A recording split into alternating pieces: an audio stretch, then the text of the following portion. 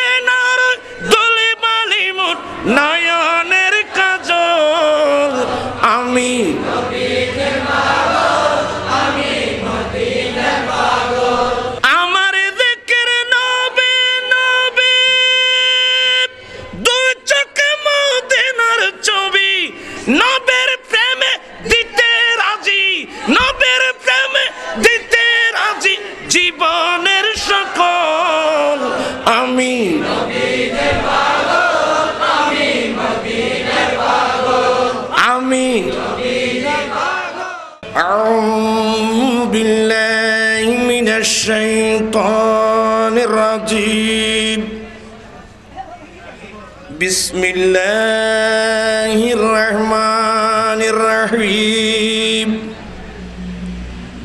قل إن كنتم تحبون الله فاتبعوني يحببكم الله ويغفر لكم ذنوبكم والله غفور رحيم صدق الله مولانا العظيم. وصدق رسوله النبي الحبيب الكريم. ونحن على ذلك لمن الشاهدين والشاكرين. والحمد لله رب العالمين. ربي صل وسلم وبارك عليه. وہ جہنم میں گیا جو ان سے مستغنی ہوا. وہ جہنم میں گیا جو ان سے مستغنی ہوا. ارے خلیل اللہ کو ہے রসুল্লাহ হাজত রসুল্লাহ কি হে খলীল্লাহ হাজত রসুল্লাহ কি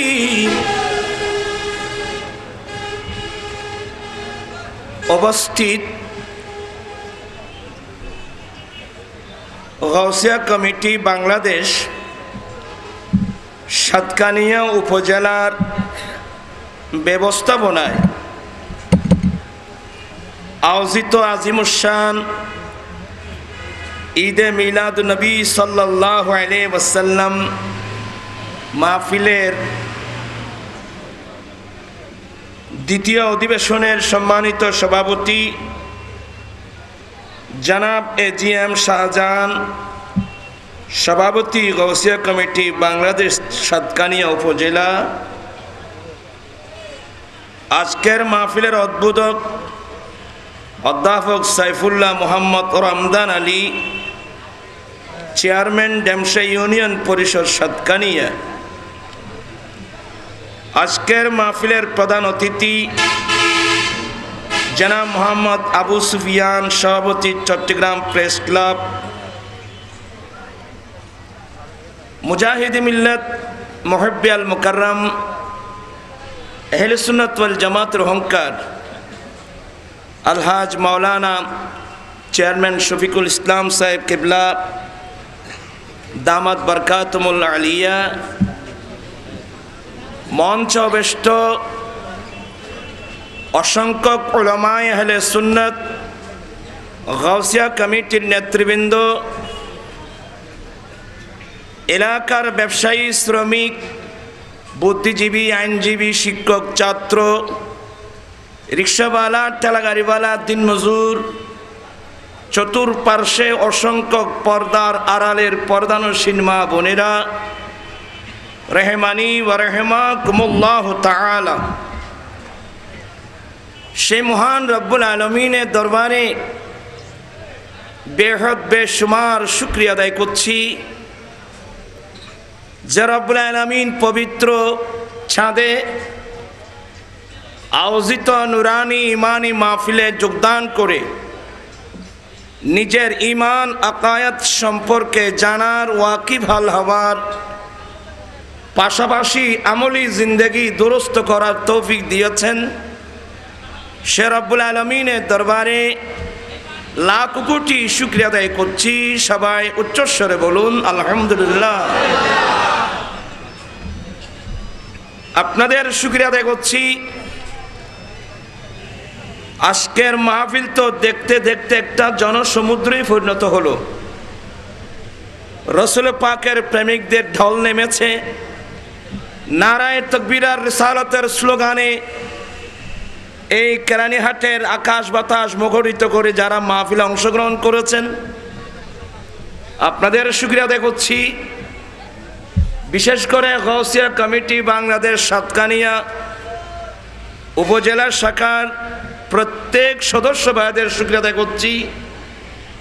যাদের অক্লান্ত পরিশ্রমের মাধ্যমে আজকের এ মাহফিল, আমার ভাইয়েরা, আমার নবী বলেন, প্রত্যেক মানুষের সঙ্গে দুইজন সাথী তাকে কারিনুহু মিনাল মালাইকাতি ওয়া কারিনুহু মিনাল জিন।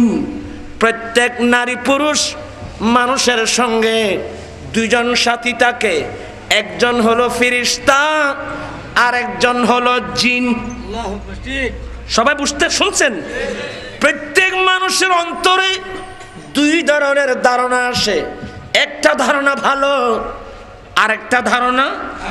খারাপ। আমি মসজিদে যাব, ভালো ধারণা।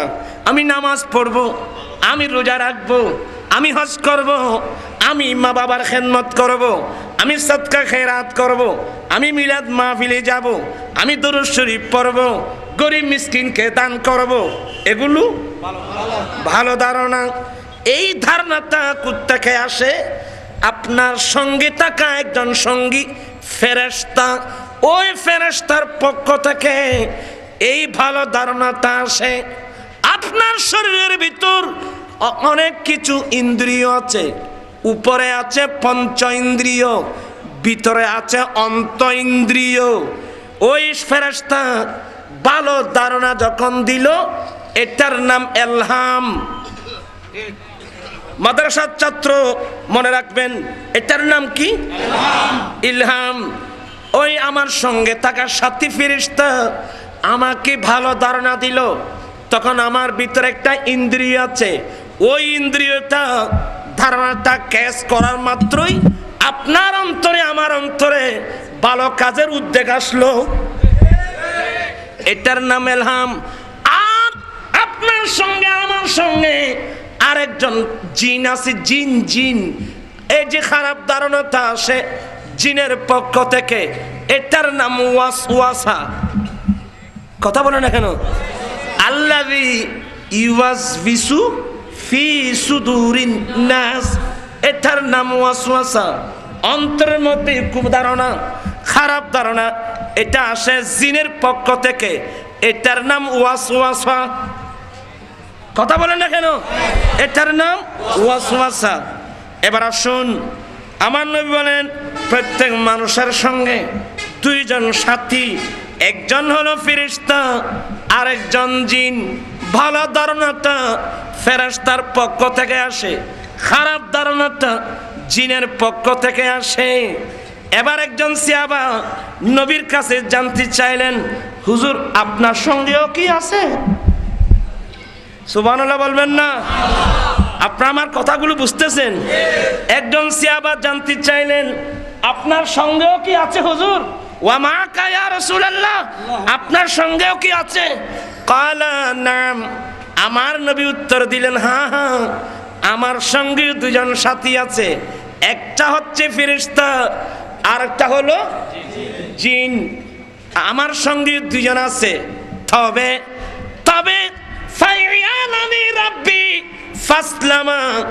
আমার নবী বলেন, তবে রাব্বি নবীকে এমন দেয়া করেছেন, আমাকে এমন দেয়া করেছেন।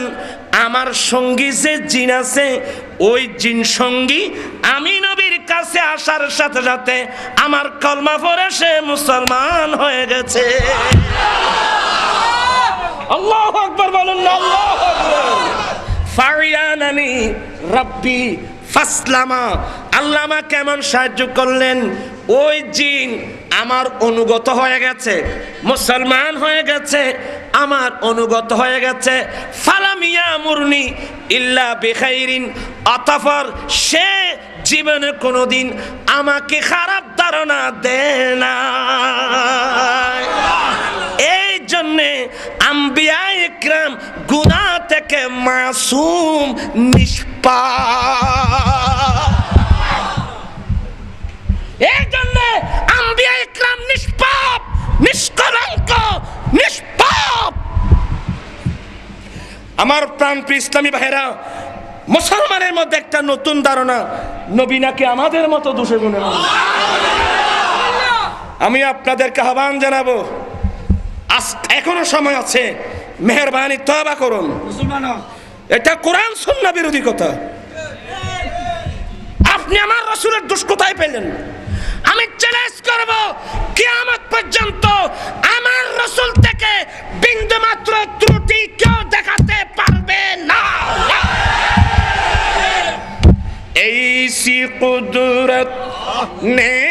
تیری سو رت سواری یار سو ایسی قدرت نے تیری سو رت سواری یار سو دون عالم کو ہوئی ہے شکل پیار۔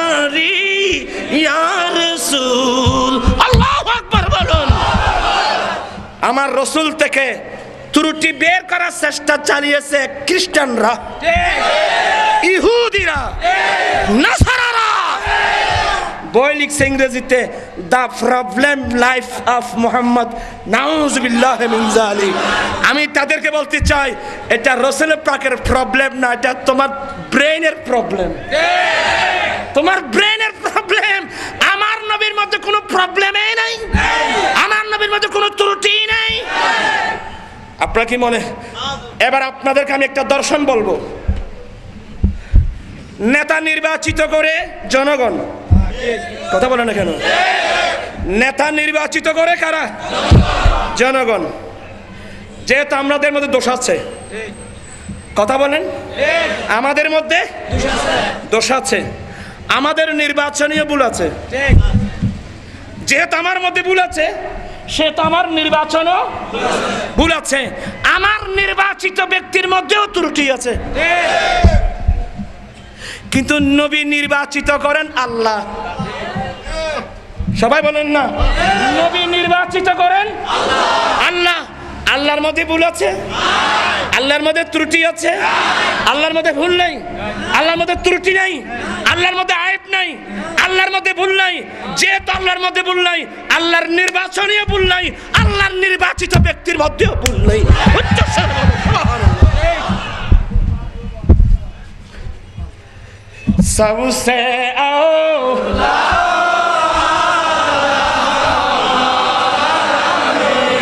سب سے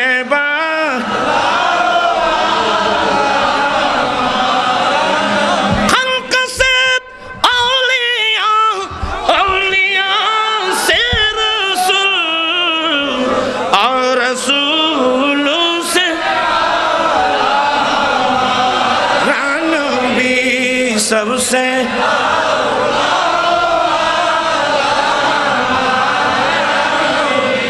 سب سے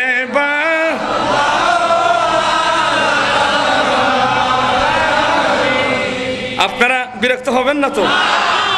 আমি আরও গভীরে গেলে আরও কঠিন আলোচনা আছে। হ্যাঁ? আপনার না না, হুজুরের আলোচনা তো শোনার দরকার আছে বাবা। আরও কঠিন আলোচনা। শুনবেন? অনেক ওলামা আছেন, মুসলিম শরীফটা করলেন। মুসলিম শরীফে দেখবেন মেরাজ রজনীতে রসুল পাকের সিনা মুবারক অপারেশন করা হয়েছিল চারবার। কিন্তু প্রথম রসুলের পাকে অপারেশন করা হচ্ছিল চার বছর বয়সে। কয় বছর বয়সে? এহাদিস কেন আপনি মুসলিমে পাবেন? আমার রসুল যখন আমার রসুলের দুদুমা হালিমায়ে সাহাদিয়া নাম শুনছেন তো? কত বড় ভাগ্যবান মহিলা। না আপনি মুকদ্দর পর হালিমা সাদিয়া। না اپنی مقدر پر حلیم سعدیا ارے شہر مکہ میں تجھے مولا کا پیارا مل گیا۔ شہر مکہ میں تجھے مولا کا پیارا مل گیا۔ عالم میں इशारा मिल गया हम बेसहारू को मोहम्मद का सहारा मिल गया चित्कार दे बोलून ना सुबहान अल्लाह नाजिकर नाजिकर आई हलीमा तेरी गोद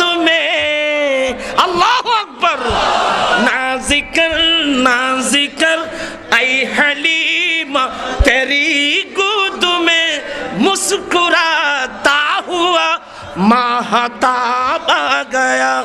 مصطفیٰ آ گئی، انقلاب آ گیا۔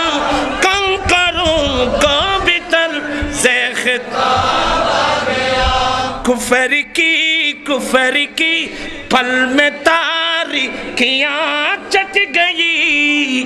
کفر کی پل میں تاریخیاں چٹ گئی۔ جس گڑی نور حق بے نقاب آ گیا۔ مصطفیٰ آ گئی۔ کو طرز خطاب سبحان اللہ بول بلنا ওরা খুশি, আমরা খুশি না?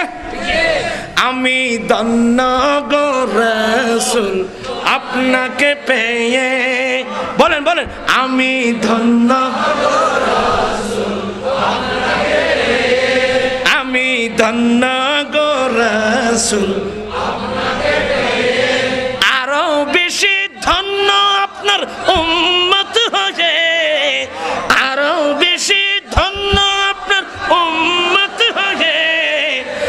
আমি আমরা ধন্য। হাত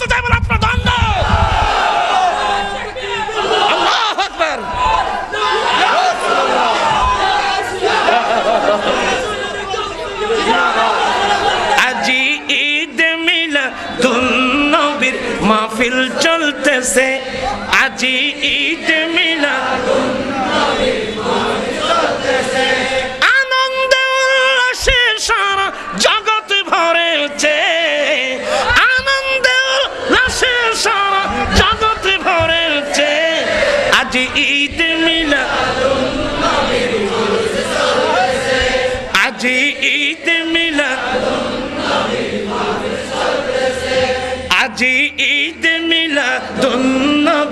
জুলুস চলতেছে। আজি ঈদ মিলা দুন্নবীর মাহফিল। আনন্দে উল্লাসে সারা জগৎ ভরেছে।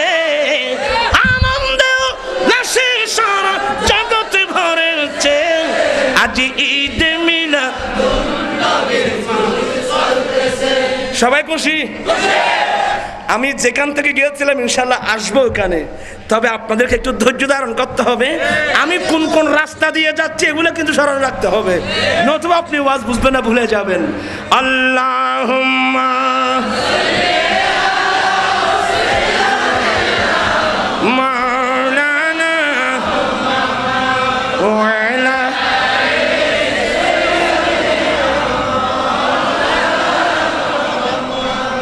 আল্লাহ আকবর। আমার মুখোমুখি একটা হাদিস পড়েন। বোখারি শরীফের হাদিস قال رسول الله صلى الله ওয়াসাল্লামা কাইফা আনতুম ইরা নাজালা ইবনু মরিয়ামা ফিকুম ওয়া ইমামুকুম মিনকুম এবার অনুবাদ শুনুন। আমার নবী একদিন বলছেন, উম্মত আচ্ছা বলো তো, সেদিন তোমাদের মর্যাদা কত বড় হবে? উম্মত উম্মত, বলো তো, সেদিন তোমাদের মর্যাদা কত বড় হবে? ইয়া কোন দিন? যেদিন মরিয়ামের ছেলে ঈসা ইসলাম আসমান থেকে জমিনে তোমাদের কাছে আসবে। বড় বড় রসুল কয়জন? একটু আমাকে হেল্প করুন, বড় বড় রসুল কয়জন? চারজনের মধ্যে একজন হজরতে সৈয়দুনা ঈসা ওয়াস সালাম। ঈসা ইসলাম যিনি তিন দিনের বাচ্চা ধুলনায় ঘোষণা দিলেন, যখন মরিয়াম তাকে নিয়ে গেলেন, ফিলিস্তিনের মানুষ জিজ্ঞাসা করল, মরিয়াম, এই ছেলে কোথায় পেয়েছ? তোমাকে তো কোথাও বিবাহ দেওয়া হয় নাই। বিবাহ ছাড়া এ সন্তান তুমি কোথায় পেয়েছ? আল্লাহ তো আগে মরিয়ামকে শিখাই দিয়েছেন, মরিয়াম, তুমি রোজা রাখবা। তোমার কাছে জিজ্ঞাসা করলে বলবে, আমি রোজা রাখছি। আজকে আমি তোমাদের সাথে কথা বলতে পারব না। ওই ছেলের দিকে ইঙ্গিত দিবা। ওই ছেলের কাছে জিজ্ঞাসা করো, ছেলে কুত্তেকে ইন্নি নাজার তুলির রহমান সাওমা ফালা মুকাল্লিমিল ইয়াউমা ইনসিয়া আসেনি কোরআন শরীফে? ফাশারাত ইলাই ইঙ্গিত দিলেন ছেলের দিকে। ওরা বলে, মরিয়াম দুষ করাচ্ছ আরও আমাদের সাথে মজা করতেছো। তিন দিনের বাচ্চা, ধুলনার বাচ্চা কথা বলতে পারে? এ কথা বলতে না বলতেই তিন দিনের বাচ্চা জবান খুলে ঘোষণা দিলেন, ইন্নি আব্দুল্লাহ। মানুষ, আমি আল্লাহর বান্দা। আতানিয়াল কিতাবা, আল্লাহ আমাকে একটা কিতাব দিয়েছে, ওয়াজালানি নবিয়া। আল্লাহ আমাকে নবী বানিয়েছেন। কয়দিন এই ঘোষণা না? ঈসা ইসলাম তিন দিনের ঝুলনা থেকে ঘোষণা দিলেন, আমি আল্লাহর বান্দা, আল্লাহ আমাকে কিতাব দিয়েছেন, আল্লাহ আমাকে নবী বানিয়েছেন। আর আমাদের মুসলমানের হুজুর বলতেছে, আমাদের নাকি চল্লিশ, আমাদের নবী নাকি চল্লিশ বছর পরে নবুত পাইছি।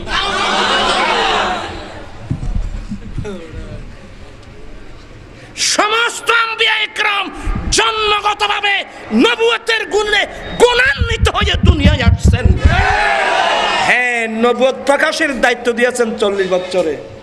এটা ভিন্ন কথা, এটা প্রকাশ মাত্র। যাই হোক, ওগুলা নিয়ে আমি আজকে আলোচনা করব না। আমি কি বোঝাতে চাচ্ছিলাম আলাইহিস ইসলাম চোখ দেখতেছেন, আল্লাহ আমাকে আসমানি কিতাব দিয়েছেন, ইঞ্জিল কিতাব। এত বড় রসুল বানালেন।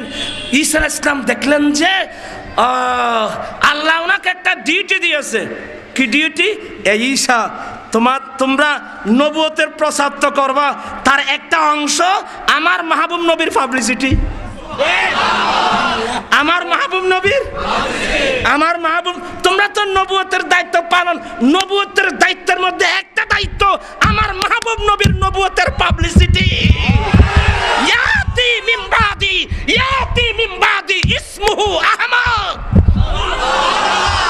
এই জন্য আমার রসুল ঘোষণা দিয়েছেন, এ আমার আমি কোন রসুল চিনো? আমি কোন রসুল জানো? আনা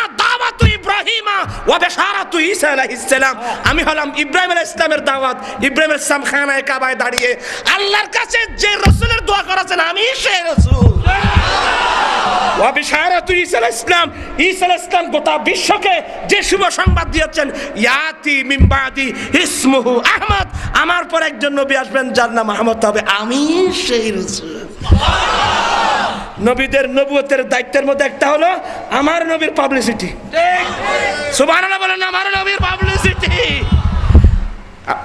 উনি তো আল্লাহ আল্লাহ তুমি আমাকে নবী বানিয়েছ তুমি আমাকে রসুল বানিয়েছ এটা তোমার স্পেশাল দয়া। কোন নবী দোয়ার মাধ্যমে নবুয়ত পায় না। ইন্নাল্লাহ ইয়াখতাসু বিরহমাতিহি মাইনাশা আল্লাহ যাকে চায়, তাকে আল্লাহ নবুয়ত দান করেন। আল্লাহ তুমি আমাকে রসুল বানিয়েছো, আসমানে কিতাব দিয়েছ, এটা তোমার দয়া। আমি কোনোদিন তোমার কাছে এগুলো চাই নাই।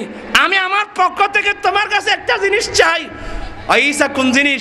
আল্লাহ, তুমি আমাকে ওই যে নবীর পাবলিসিটি করার দায়িত্ব দিয়েছ, আমাকে সেই নবীর উম্মত হিসেবে কবুল করো না। হায় হায় হায় হায়। আমরা কোন রসুলের উম্মত বাবা? আজকে মশলা যদি বুঝতে পারতাম, আজকে আমরা রসুলের সুন্নত তরিকাবাদ দিয়ে, আজকে হুদিন আসার মতবাদ নিয়ে আমরা কোনোদিন চলতে পারতাম না। বড় দুঃখ নিয়ে বিষয়। তা আমার রসুল বলছেন, উম্মত, এই উম্মত, ও ওই দিন ওই দিন যেদিন মরিয়ামের ছেলে ঈসা আসমান থেকে জমিনে তোমাদের কাছে আসবে, কিন্তু ওয়া ইমাম হুকুম মিনকুম ঈসা ইসলাম ইমামতি করতে পারবে না।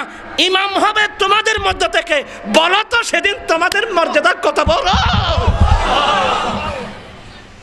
এই আনন্দ এই খুশি, কেয়ামত পর্যন্ত করলেও এই আনন্দ আমরা শেষ করতে পারব না। ঠিক কিনা ভাইরা আমার?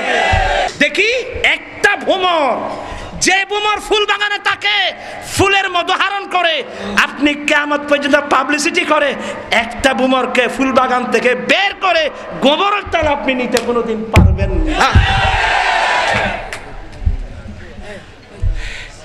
সাহারাতে ফুটুল রে ফুল, রঙিন ফুলের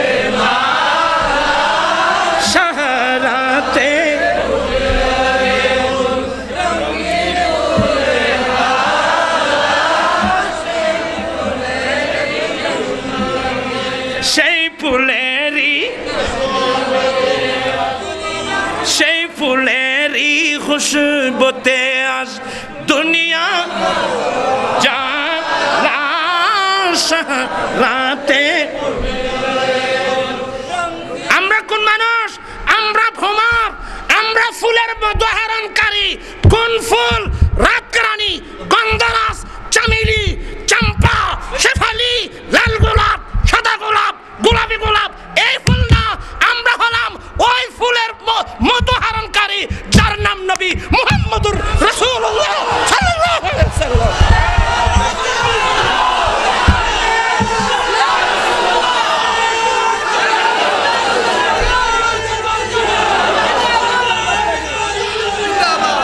যাকে সবা কুয়ে মোহাম্মদ আরে যাকে সবা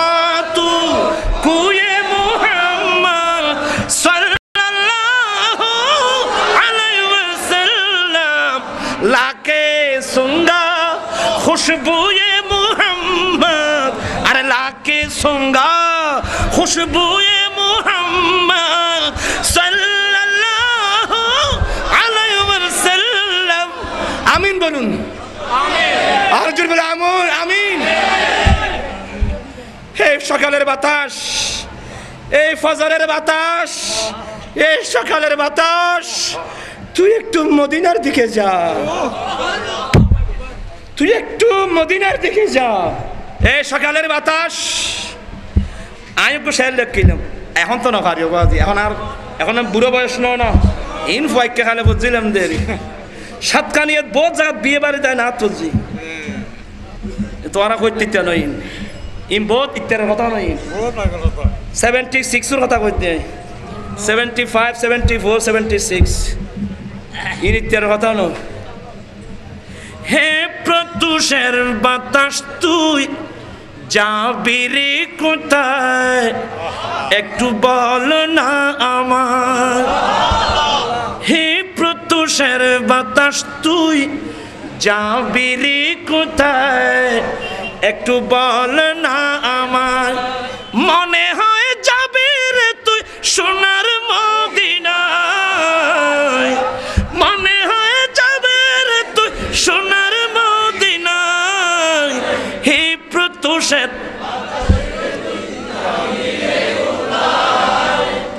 একটু বল না।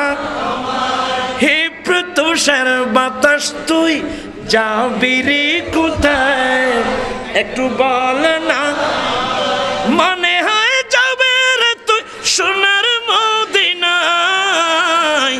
হে প্রতুষার বাতাস, তুই কাকু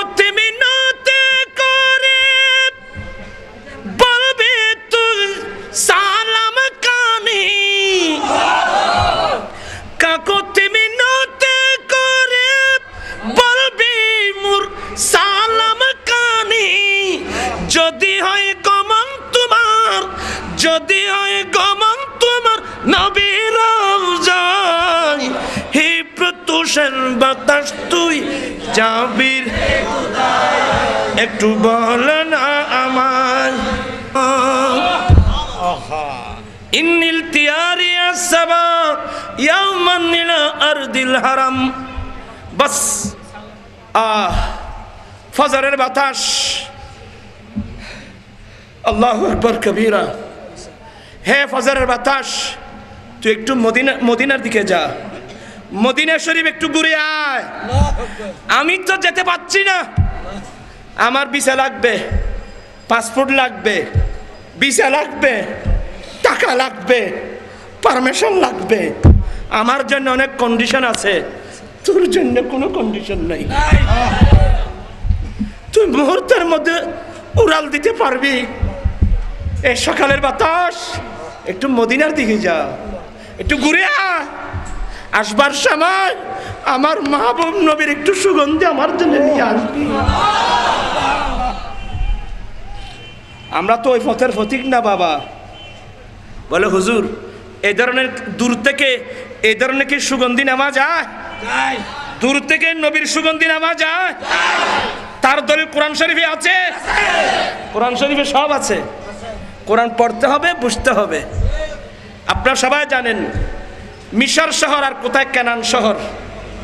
মিশর শহরে ইসমাইল ইসলাম জিজ্ঞাসা করলেন, ভাইয়া, আমার আব্বা কেমন আছে? বলে, ভাইয়া, যেদিন থেকে আমরা ষড়যন্ত্র করে আপনাকে বাবা থেকে বিচ্ছিন্ন করে ফেলছি, সেদিন থেকে বাবা ইউসুফ ইউসুফ ইউসুফ ইউসুফ বলতে বলতে বাবা দুই চোখের জুতি কমপ্লিট হারিয়ে ফেলছে। বাবা অন্ধ বাবা অন্ধ হ্যাঁ অন্ধ।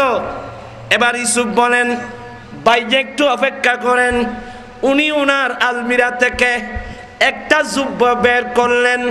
জুব্বা বের করে বলছেন ইদহাবু বিকামিসি হাদা ওয়ালকুহু আলা ওয়াজহি আবি ইয়াতি বাসীরা ও ভাইয়া আমি ইউসুফের জুব্বা আমি ইউসুফের কুর্তাটা নিয়ে যাও কেনান শহরে গিয়ে আমি ইউসুফের জুব্বা কানা, আমার বাবার চেহারার উপর রাখবে। আমার বাবার চেহারার উপর রাখা মাত্রই আমার বাবার চোখের জুতি ফিরে এসে যাবে। এখান থেকে আমি বাদেরকে বলছি, আমাদের মধ্যে কিছু হুজুর আছে, ওরা নাকি ডাইরেক্ট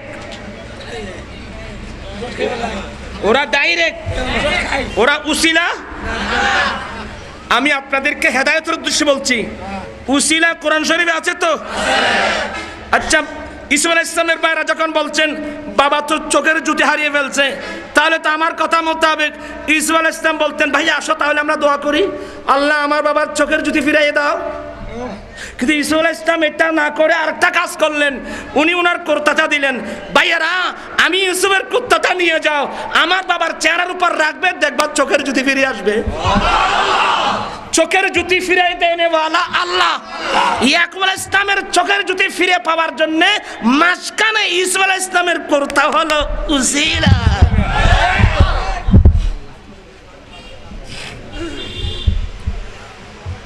এইদিকে কুর্তা করলেন, মিশর শহরে ওইদিকে কেনান শহর থেকে ইয়াকুব নবী ডাক দিয়ে বলে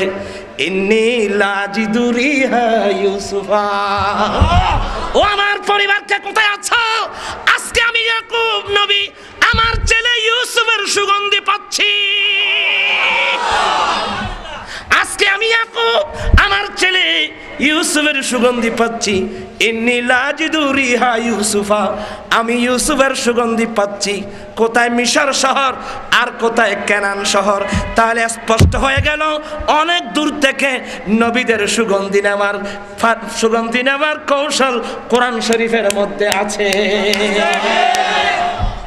ইয়াকুব ইসলাম যদি অনেক দূর থেকে ইউসুফের সুগন্ধি নিতে পারে, আমরা যদি নাক ঠিক রাখতে পারি, আমরা চোখ ঠিক রাখতে পারি, ব্রেন ঠিক রাখতে পারি, সব যদি ঠিক থাকে, আমার কলব ঠিক আছে, আমার কলব ঠিক আছে, আমার কলবের মধ্যে বিন্দু মাত্র গুনার দাগ লাগে নাই, পরিষ্কার রাখতে পারলাম, আমার ব্রেন ঠিক আছে, আমার নাক ঠিক থাকবে, আমার হুশ ঠিক থাকবে, আমার বিবেক ঠিক থাকবে।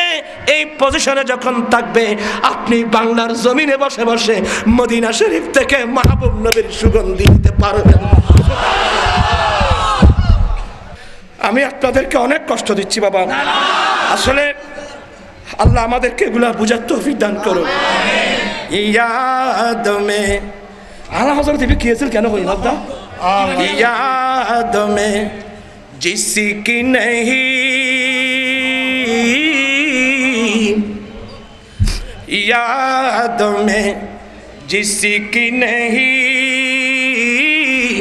ہوش تنا جا ہم کو پھر کا دے وہ رخی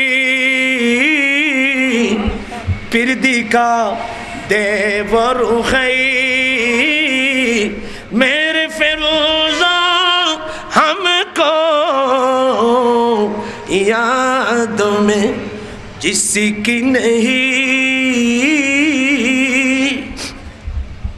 پردہ اس چہرہ ور سے اٹھا کر کے بعد پردہ اس چہرہ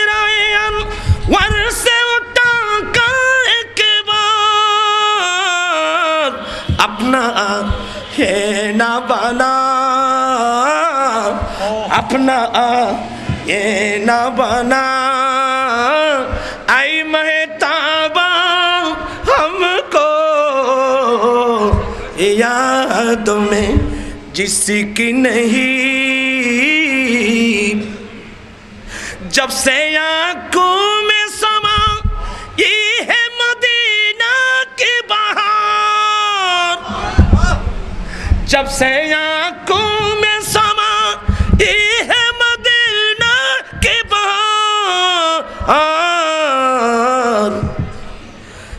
याद में जिसकी नहीं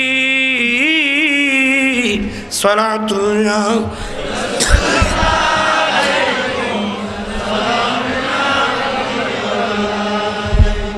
আমার ভাইরা অনেক দূরে চলে আসলাম তাড়াতাড়ি এখন শেষ করে দেব বলতে চেয়েছিলাম ওই মেয়ের আওয়াজ সে আবার আকৃষ্ট করলো একদিক দিয়ে লাবণ্য চেহারা, অপর দিক দিয়ে মহিলার সাউন্ড বেয়াদবি মাপ চাই বাবা, আপনার কিন্তু মনে কষ্ট নেবেন না।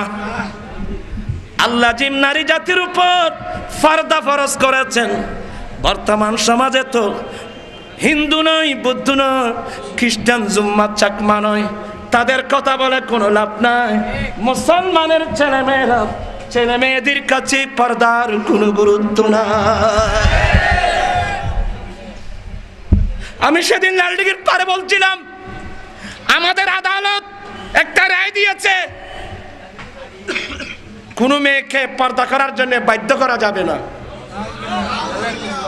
আমি আদালতের প্রতি হাজার হাজার শ্রদ্ধা জানিয়ে অনুরোধ জানাব, অনতিবিলম্বে এই রায় উজ্জ্ব করে নেওয়া হোক। আপনার চান কি চান হাত উঠায় বলেন।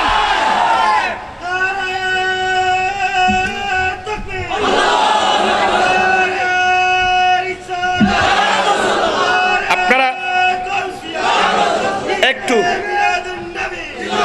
আমি আগে বলছিলাম, তকবির কম তো বাবা, আমার কথা বলার সুযোগ তো বলতে চেয়েছিলাম আদালতের প্রতি হাজার হাজার অনুরোধ জানিয়ে আমি অনুরোধ করব, শ্রদ্ধা জানিয়ে অনতি বিলম্বে এ রায় উদ্ধ করে নেওয়া হোক। আমি একটা প্রশ্ন রাখতে চাই সবার কাছে। আমাদের দেশে হিন্দু আছে তো? বৌদ্ধ? খ্রিস্টান? জুম্মা? চাকমা? আছে, থাকবে। আপত্তি করার কিছুই নাই। আমার রসুল আমাদেরকে শিক্ষা দিয়ে গেছেন, অন্য ধর্মের মানুষের সাথে আমরা কি আচরণ করব।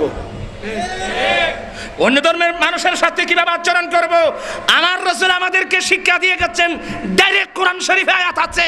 আমার আল্লাহ বলছেন, যতক্ষণ পর্যন্ত অন্য ধর্মের মানুষ তোমাদেরকে তোমাদের ধর্ম নিয়ে বাড়াবাড়ি করবে না, তোমাদেরকে তোমাদের রাষ্ট্র থেকে তাড়িয়ে দেবে না। ততক্ষণ পর্যন্ত তাদের সাথে সদ্ব্যবহার করা আল্লাহ নিষেধ করেন নাই। আমরা তাদের সাথে সদ্ব্যবহার করব। ঠিক কিনা ভাইরা আমার? আজকে এ রামুর ঘটনাকে কেন্দ্র করে বাংলাদেশের মধ্যে কীর্তুল খারাম কাণ্ড হয়ে গেল। মন্দির ভাঙা হলো, এ ভাঙা হলো, এটা নিয়ে কত কীর্তকাণ্ড হয়ে গেল। সবাই, কিন্তু আমার অনুরোধ হলো ইসলাম তাদের মন্দির ভাঙার পারমিশন আমাদেরকে দেয় নাই। তবে যে কোনো দুষ্কৃতকারী করেছে। তবে আমি অনুরোধ জানাব, আপনারা শুধু ওদের বিচার করলে হবে না যে যে ছেলেটা কোরআনের অপমান করেছে, তাদেরকে তাকে অ্যারেস্ট করতে হবে। তাকে অ্যারেস্ট করতে হবে। এক নম্বর, দ্বিতীয় নম্বর, একটা বাংলো আমাদের সরকার ডবল দিয়ে মেরামতের ব্যবস্থা করতেছে। কিন্তু আজকে বারবার যে অবস্থা হচ্ছে, এটার জন্য আমাদের মাথা ব্যথা কি? আমি জানতে চাচ্ছি, কেন বারবার জমিনে লক্ষ লক্ষ মুসলমানের গর্বারে জানানো হচ্ছে? আজকে কোথায় আমেরিকা? আমেরিকা আজকে কোথায়? মানবাধিকার এখন কোথায়? যারা মানবাধিকারকে পায়ের নিচে দিয়ে দুলিশাত করো, তাদের মুখে মানবতার, মানব মানব মানবের অধিকারের কথা শোভা না। আজকে কেন মসজিদ আগুন লাগানো হচ্ছে? আজকে কেন হাজার হাজার মুসলমানদের করবার জানানো হচ্ছে? অংশাংশ সুখী কোথায় আমেরিকা কোথায়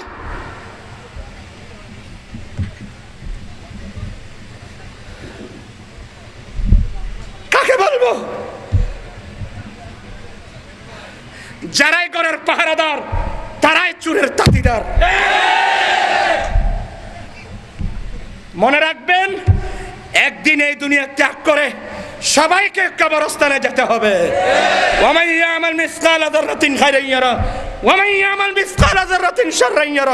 বালা করো প্রত্যেকটা কিছুর অনুপরমাণু হিসাব আল্লাহর সুপ্রিম কোর্টে কাজ করে রাখ দিতে হবে, ঠিক আছে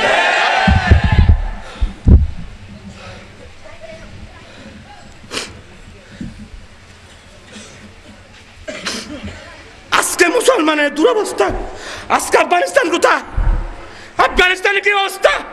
দিন দুপুরে আফগানিস্তানকে ডাকাতি করা হলো।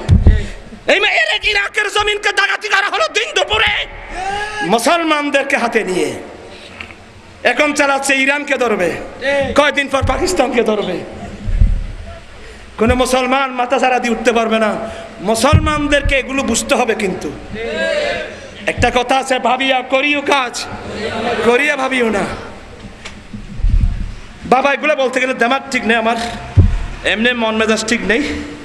আমি আপনাদেরকে যদি বোঝাতে চাচ্ছি, আমাদের দেশে হিন্দু আছে, বৌদ্ধ, খ্রিস্টান, জুম্মা, চাকমা, আছে, থাকবে।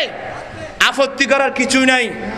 আমি জানতে চাচ্ছি, আপনাদের সবাই রাজনীতিবিদ, সবাই রাজনীতির সাথে সম্পৃক্ত। আমার ভাইয়ের, আমি জানতে চাচ্ছি, বাংলাদেশের ইতিহাসে, পৃথিবীর ইতিহাসে আজ পর্যন্ত কোনো আলেম কোন একজন হিন্দু মেয়েকে পর্দা করতে হবে বলছে? কোন একজন বৌদ্ধ মেয়েকে পর্দা করতে হবে বলছে? কোন একজন খ্রিস্টান মেয়েকে পর্দা করতে হবে বলছে? কোন একজন জুম্মাকে পর্দা করতে হবে বলছে? কোন একজন চাকমা মেয়েকে পর্দা করতে হবে বলছে? কেন বলবে? তাদের ধর্মে পর্দা নেই, আমরা কেন বলব? কিন্তু আমার ধর্মে পর্দা আছে, আপনি আমার আমার ধর্মে পর্দা আছে। আপনি আমার বিরুদ্ধে করবেন কেন? আর পৃথিবীর কোন আলেম নারী জাতির উপর পর্দা খরচ করেন নাই। মুসলিম নারী জাতির উপর পর্দা খরচ করেছেন। একটা তো আমরা আল্লাহর গোলামি রসুল পাকের গোলামি করে মানুষকে শুনাই দিচ্ছি। যে মেয়ে পর্দা করবে, সে দুনিয়াতেও ইজ্জত পাবে, কবরেও সম্মান পাবে, আখেরাতের মধ্যেও সম্মান পাবে। আর যে মেয়ে বেপর্দা চলবে এরা দুনিয়াতেও লাঞ্ছনার শিকার, কবরেও লাঞ্ছনার শিকার, আখেরাতের মধ্যে লাঞ্ছনার শিকার। প্রশ্ন করেন হুজুর, দুনিয়াতে কীভাবে লাঞ্ছনার শিকার? তো আপনারাই তো লিখতেছেন পত্রিকায়, ইপটিজিং। হ্যাঁ ওয়াজ বুঝে না আসলে। আপনারাই তো পত্রিকা লিখতেছেন ইপটিজিং। সরকার কত আইন করছে ইফতিজিং করলে তাকে অ্যারেস্ট করা হবে, পাঁচ বছরের জেল দেওয়া হবে, এই করা হবে, সেই করা হবে। আমি সেদিন লাল লালডিগির পার বলছিলাম, দশ বছরের জেল দিলেও ইফতিজিং কিন্তু বন্ধ হবে না। হুজুর, আমাকে একটু পরামর্শ দেন ইফটিজিং কীভাবে বন্ধ হবে? অবশ্য পরামর্শ দেব। কিছুই করতে হবে না। আল্লাহ যে নারী জাতির উপর ফর্দা ফরজ করেছেন বালেগা মহিলারা ঘর থেকে বের হওয়ার সময় মুখে নেকাব পরে বের হোক, আজ থেকে নেকাব পরো, কাল থেকে খোদার কসম ইফটিজিং বন্ধ।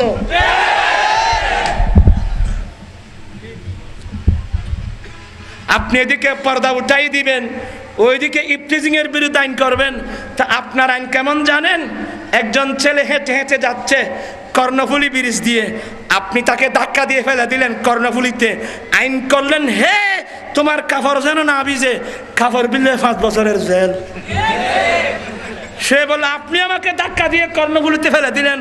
আয় করতো নাই খর করতো নাই তো গোসল করি একটু।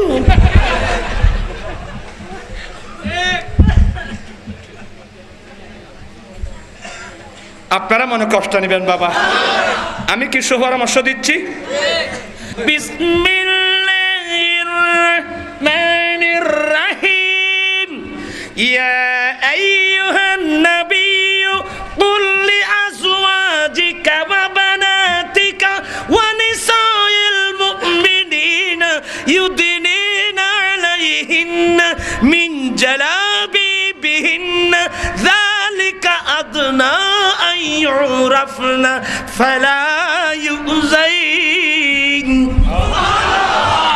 আল্লাহ বলেন হে রাসূল আপনি আপনার ওয়াইফ আপনার কন্যা সারা বিশ্বের মুসলমান মহিলাদেরকে বলে দিন ওরা যখন ঘর থেকে বের হবে বড় চাদরের একটা অংশ উপর দিক থেকে এনে মুখের উপর যেন ডেকে দেয় জালিকা তুনাইও রাফনা। মেয়েরা যখন নেকাব পরে বের হবে, মানুষ বুঝবে এরা মুসলমানের স্বাধীন মহিলা। এরা স্বাধীন মুসলমানের মহিলা। ফালাই উজাইন অথবা তাদেরকে টিজিং করা যাবে না অথবা তাদেরকে উত্তাক্ত করা যাবে না। এগুলো তো চোদ্দশো বছর আগে আল্লাহ আমাদেরকে বলেই দিয়েছেন। আমি আর কাউকে কষ্ট দিতে চাই না। এ হাদিসটা শেষ করে, অর্ধেক কথার মধ্যে আমি শেষ করে দিচ্ছি। এবার বিজ্ঞান বলব আমি। এখানে ওখানে বিজ্ঞানের ছাত্র আছে তো? আপনারা কোরআন বুঝবেন না আপনারা হাদিসও বুঝবেন না। আর কোরআন হাদিস বললেও আপনারা তেমন গুরুত্ব দিবেন না। যখন বিজ্ঞান বলব "হ্যাঁ, এবার ঠিক আছে। এখানে অনেক ফিজিওলজির ছাত্র আছেন। আমি স্পষ্ট ভাষায় আপনাদেরকে বিজ্ঞানের কথা বলছি। আমি কিন্তু মোল্লা মানুষ। পুরুষ এবং নারী আকৃতিগত পার্থক্য প্রকৃতিগত পার্থক্য। বিজ্ঞানের দৃষ্টিতে আমি ছাব্বিশটা পার্থক্য বলতে পারব। তবে আজকে বলবে মাত্র একটা। সেটা হচ্ছে পুরুষ হলো বিদ্যুৎধর্মী, নারী হলো চুম্বকধর্মী। এই প্রকৃতিকে আপনি মানেন কিনা পুরুষ হলো মানুষই নেই লেখার মানুষ পুরুষ হলো, নারী হলো, এই দুই প্রকৃতির মান, এটাকে আপনাকে মানতেই হবে। এ কথা কথা কোনো? ভাই বোধ কথা নবই। গর যে রাস আসিল ওই বিয়ারে সুন্দর সুন্দর পুরুষ হলো কথা বলে না, পুরুষ হলো, নারী হলো, এই দুই প্রকৃতির মানুষ একসাথে চলতে পারবে না। যে কোনো মুহূর্তের মধ্যে অ্যাক্সিডেন্ট করার সম্ভাবনা আছে। এই যে পেট্রোল পাম্প আছে, ওখানে লিখে দেয় ধূমপান নিষেধ। কেন? বলে ধূমপান আগুন বিদ্যুৎ ধর্মী পেট্রোল হলো চুম্বক ধর্মী। পেট্রোলের আগুন এক জায়গায় একত্রিত হলে পেট্রোল পাম্প জ্বলে সরকার হবে, গোটা দেশ পর্যন্ত নষ্ট হওয়ার সম্ভাবনা আছে। পুরুষ হলো বিদ্যুৎ ধর্মী নারী হলো চুম্বক ধর্মী এই দুই প্রকৃতির মানুষ একসাথে চলতে পারে না। এই জন্য বিজ্ঞানের স্রষ্টা আল্লাহ দুজনের মাঝখানে একটা পার্টিশন দিয়ে দিলেন। এই পার্টিশনের নাম হচ্ছে পর্দা। এবার আপনি যে যুক্তি খণ্ডন করেন, কাউ থাকলে পারবেন? পারবেন না বাবা। এটা বিজ্ঞানসম্মত। আজকে আপনার পর্দা উঠাই দিলেন উঠা দো পর্দা দেখা দো চেহারা। আর এখন সাম মধ্যে পর্দার ওয়াজ করলে মুলির দৌড়ি দি বুঝিয়া হল। ও যে সঞ্জুগুত খন কথা হল নাওজবিল্লা বলেন, বর্তমান পত্রিকায় এক শ্রেণির মহিলার নাম পাওয়া যায় প্রগতিবাদী। কোনবাদী? আহ বলছি প্রগতিবাদী না দুর্গতিবাদী। অদৌগতি আমি মেয়ে আমাদেরও আছে, প্রত্যেকের মা বোন আছে। মেয়েদের পর্দা আচ্ছা আমরা এই তিন কথা বাদ দিও। তোমার একটা খেত করো না? বাকি খেত তরমুজ ক্ষেত? সদু ক্ষেত করো না? সারি কেনে দি টেহারা দিও না? টেহারা কিলে দিও আছে হ্যাঁ? এফাজতে কিতাই বেল্লাই খদুল্লতা এ খদুল্লতা লাই টেরা দিতে ভাই ভূত। আচ্ছা একখান লতার মেয়েতে সদু খাব ধরিব এক হাজার টিয়ার একখান লতাত এক হাজার টিয়ার সদু আজকে টেরার খবর যদি লতা কাম বাইরে গিয়ে হওয়া আচ্ছা এই লতাতে বাইরে গিয়ে টেরা খবর যদি যেখানে মানুষ দেখে বুঝেন কি ঢুকাইব না? ঢুকাইত নো খানো ঢুকাইব দে। জিবে খেতিয়াং গজি আর গো ঢুকাইত নো এই লতা, তুই কেড় দে? গল খানত দরি কিরুয়া যাড়া ইন যাতে যাইতে দিও না। হদে ভাই যাচ্ছে গায়ে যাইতেম দিন না পারিন নে?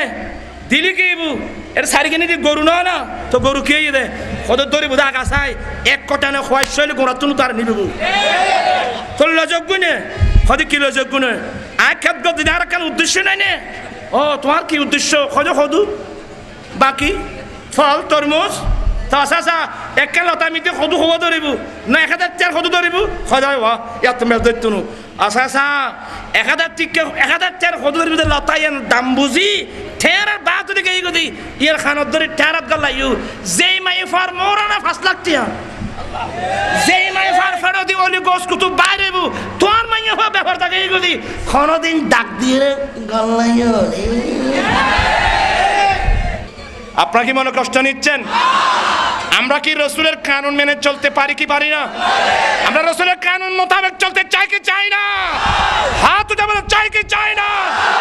আল্লাহ তুমি কবুল করো। আল্লাহ তুমি তোমার রসুলের সুন্নত মোতাবেক চলো, আমাদেরকে তৌফিক দান করো। আজ থেকে আমরা তবা করব। আজ কষ্ট দেব না বাবার। অনেক কথা বললাম আপনাদেরকে। এই মেয়ে বলে সৌদাগর সাহেব এই খেজুরগুলোর মূল্য কত? বেয়াদবি মাপ। শয়তান তো পাশে আছে। শয়তান দুকা দিয়েছে। মেয়েটা সুচ্ছিরি। আওয়াজ আকর্ষণ করল, বেয়াদবি মাপ। সদাগর ভাইয়েরা, আপনার কিন্তু সতর্ক। আমার ভাইয়েরা সদাগরকে শয়তান দুঃখ দিয়েছে, ওয়াসফসা দিয়েছে।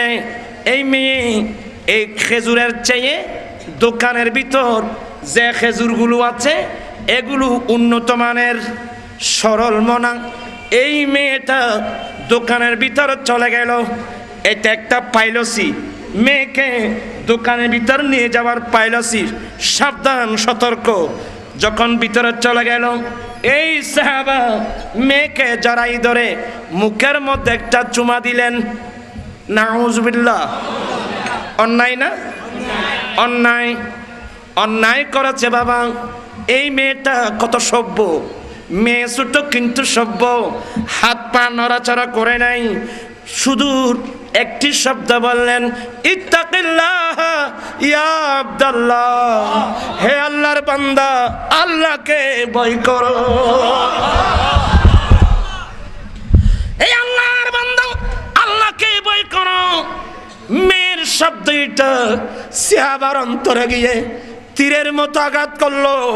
সিয়াবার লজ্জিত হলেন। দুই চক্ষু দিয়ে জর জর পানি বের হয়ে গেল। দোকান খোলা, মেয়েটা দাঁড়ানো। সে আবার সিদ্ধান্ত এক সেকেন্ড এই অন্যায়ের পরে আমি দোকানে থাকতে পারি না। সে আবার দর দে দরবারে মুস্তাফা। আমি নবীর কাছে চলে যাব। দৌড়ে চলে গেলেন নবীর দরবারে। নবীর দরবার গেলেন। রাসূল সিয়াবা একরামদারকে নিয়ে বসে দিনের তালিম দিচ্ছেন। এবার ইনি সালাম দিয়ে বললেন, ইন্নি আসাবতু হাদ্দান। নবী গো, আমি এমন অপরাধ করেছি, আমার উপর শাস্তি ওয়াজিব হয়েছে। আপনি আল্লাহর কিতাব মোতাবেক আমাকে শাস্তি দিন। হুজুর, আমি অপরাধ করেছি, আপনি আল্লাহর কিতাব মোতাবেক আমাকে শাস্তি দিন। এখন আল্লাহর কিতাব মোতাবেক বিচার করুন। এই কথা বলার লোক মুসলমান তো বাংলাদেশের মধ্যে না। আর আর কি বিদর মিয়ালানি ভিডিও না ভাইবুত? আমার ভাইয়েরা, বলতে চেয়েছিলাম, আমার নবী হ্যাঁ না কিছু বলেন নাই, কারণ আমার নবী তুই জানে। কারণ কি করছ জিজ্ঞাসা করলে সে বলে দেবে, এতগুলো মানুষের সামনে লজ্জা পাবে। আমার রসুল এমন নবী, এমন আদর্শবান, কোনো বিষয়ে উম্মত লজ্জা পাক, এটা রসুল বদাস করে না। আজকে কোথায় গেলে আদর্শ? কোথায় গেলে স্বভাব? কোথায় গেলে চরিত্র? আজকাল তো মানুষ, মানুষের দুস্তুরটি পাবলিসিটি করে। মানুষের দুস্তুরটি পাবলিক অথচ আমার রসুল বলছেন, মন সাতারা অয়ুবা আখি হে, সাতারা আল্লাহু অয়ুবাহু ইয়ামাল কিয়ামা। যে ব্যক্তি আফান ভাইয়ের একটা ত্রুটি, দুস্ত্রুটি গোপন করল মানুষকে পাক কাছে পাবলিসিটি করল না গোপন করে ফেলল।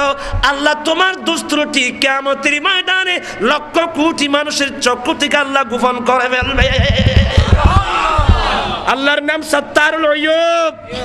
আল্লাহর নাম সত্তারুল অয়ুব আরেকটা দেখা যায়, আমার রসুল, আমার রসুলের মধ্যে গুণ পাওয়া যায়। উম্মতের দুস্ত্রুটি রসুল দেখে না!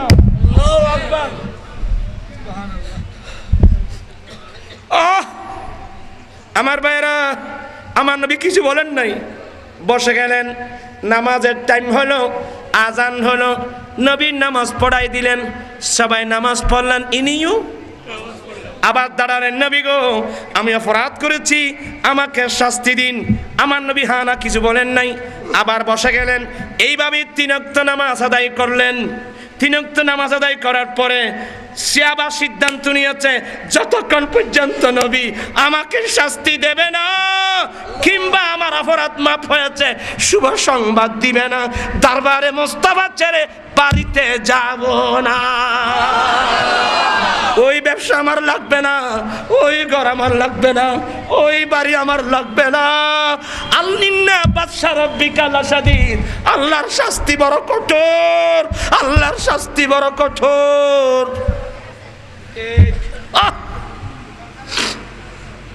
আমার ভাইয়ারা চতুর্থবার নবী জিজ্ঞাসা এতক্ষণে মুস্তফার জুবান বললেন, আলাইসা সাল্লাইতা মায়না, সিয়াবা, তুমি কি আমাদের সঙ্গে নামাজ আদায় করো নাই? আলাইসা সাল্লাইতা মায়না, তুমি কি আমাদের সঙ্গে নামাজ পড়ো নাই? কালা, নাম। হ্যাঁ হ্যাঁ আমি আপনাদের সঙ্গে নামাজ পড়াচ্ছি। এবার জুবানে মুস্তফা থেকে বেরিয়ে আসলো, ইন্নাল্লাহ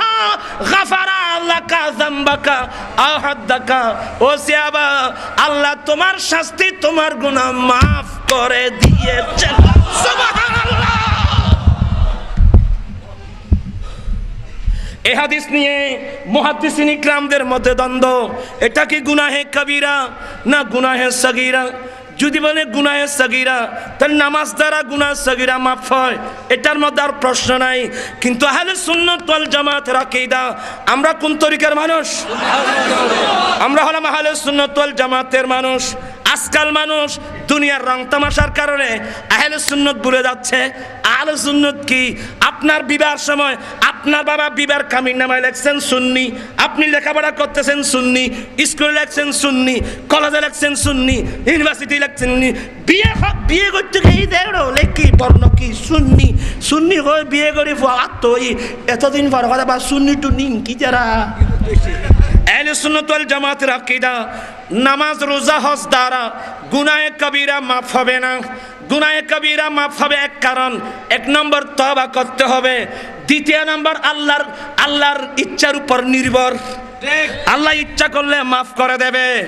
কিনা ভাই আমার? আল্লাহ মাফ করলে প্রতিবাদ করার কারণ নাই। কথা বলেন না কেন? আহলে সুন্নাত ওয়াল জামাত আকীদা হয়তো তবা এক নম্বর তবা করতে হবে অথবা আল্লাহ দয়ার উপর নির্ভর। এই হাদিসের ব্যাখ্যায় মোল্লা আলী কারি লিখতেছেন হ্যাঁ নামাজ দ্বারা সগিরা গুনাহ মাফ হয়। আসসালামাতুল খামসু ওয়াল জুমআতু ইলাল জুমআতি ওয়া রমাদানু ইলা রমাদানা মুকাফফারাতুন লিমা বাইনাহুন্না ইজাজতুনিবাতিল কাবায়ের। এই হাদিস দ্বারা স্পষ্ট হয়ে গেল, পাঁচ ওয়াক্ত নামাজ, জুমার নামাজ, রমজান শরীফের রোজা নামাজ, মধ্যকালীন সময়ের গুনাহে সগীরার কাফফারা। কিন্তু গুনাহে কবিরা মাফ হবে না। কিন্তু আমার মায়েরা আমার নবীর বৈশিষ্ট্যতা, নবীর পিছনে যদি নামাজ পড়ে, কবিরা গুণা পর্যন্ত মাফ হয়ে যায় যদি মানবতাবোধ আপনার মধ্যে থাকে, আজকে দেখেন লক্ষ লক্ষ গরিব করে মেয়েরা উপযুক্ত, যৌতুকের কারণে মেয়েদের বিবাহ হচ্ছে না। আমি একজন মোল্লা মানুষ আজকে তিন বছরের আন্দোলন, হাজার হাজার ছেলে যৌতুক ছাড়া বিয়ে করেছে, হাজার হাজার ছেলে যৌতুক ছাড়া বিয়ে করার শপথ নিয়েছে। তার পাশাপাশি অনেক অসহায় ছেলে, আপনারা মনে কষ্ট নেবেন না, আমি আপনার পক্ষ হয়ে সরকারকে দশটা দাবি দিয়েছি। দশ দাবির মধ্যে এক দাবি, অনেক অসহায় ছেলে আর্থিক দুর্বলতার কারণে বিবাহ করতে পারছে না।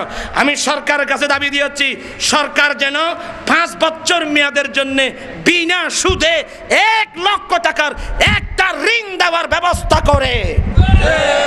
সরকার যেন সরকারি ব্যাংক থেকে পাঁচ বছর মেয়াদের জন্য বিনা সুদে এক লক্ষ টাকার একটা ঋণ দেওয়ার ব্যবস্থা করে। আমি গবেষণা করে দেখলাম, একজন অসহায় ছেলে বিয়ের পূর্বে সরকারি ব্যাংক থেকে পাঁচ বছর মেয়াদের জন্য বিনা সুদে এক লক্ষ টাকার ঋণ পায়। সে যৌতুক ছাড়া নির্বিঘ্নে বিয়ে করতে পারবে। যেহেতু পাঁচ বছর মেয়াদি, যেহেতু সুদ ছাড়া, সেহেতু পাঁচ বছরের মধ্যে এক লক্ষ টাকার ঋণ পরিশোধ করা তার জন্য সহজ হবে। আমি যখন দুবাইতে আবুধাবিতে মস্করে যখন বক্তব্য রাখছিলাম, বিশেষ করে মস্করে বাংলাদেশ সরকার রাষ্ট্রদূত, আমার ভাই জানাব নুর আলম চৌধুরী উপস্থিত ছিলেন। ওরা দুই হাত উঠায় সমর্থন দিয়েছেন। একজন ভাই দুবাই শহরে বলছেন, নুরি ভাই, এমারতের সরকার মেরেজ পান করেছে। এমারতের সরকার মেরেজ পান করেছে। অথচ আমরা জানি এমারত, এটা ধনী দেশ।